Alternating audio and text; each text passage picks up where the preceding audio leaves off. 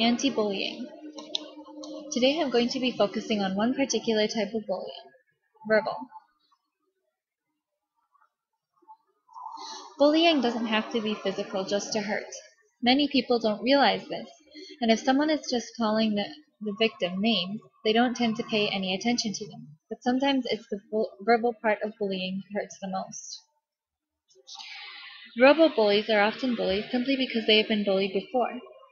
Sometimes they crave attention or they want to show off. Bullies usually know that their behavior is unacceptable, but occasionally they don't. Bullies look for kids who seem insecure and don't seem to be able to stand up for themselves. They look for people who have few friends, giving them a better chance at not having too many people to fight against them.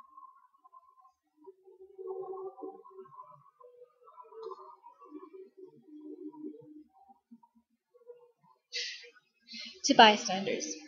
Bystanders often don't realize that verbal bullying is taking place.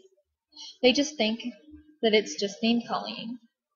But if you see anyone calling anyone else names, stand up, do something. Even if you don't charge into the scene and tell the bully to shut up or else, you can tell a trusted adult and or become the victim's friend. Bullies are often scared off when there's too many people to try and attack.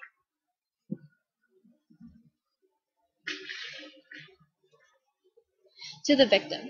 Stand up. Bullies pick people who seem to be not too confident, don't have very many don't have many friends, and don't seem to be able to stand up for themselves. So surround yourself with people, even if you don't know them. Make sure you don't retaliate or react. This is exactly what the bully wants.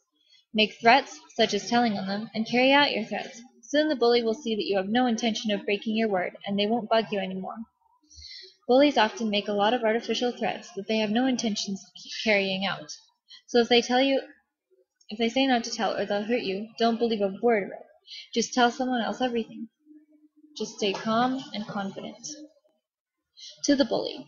There really is no good reason to bully. I know, you feel like you need to in order to be accepted, but you did, did you know that there have been victims of bullying that have committed suicide because of a bully?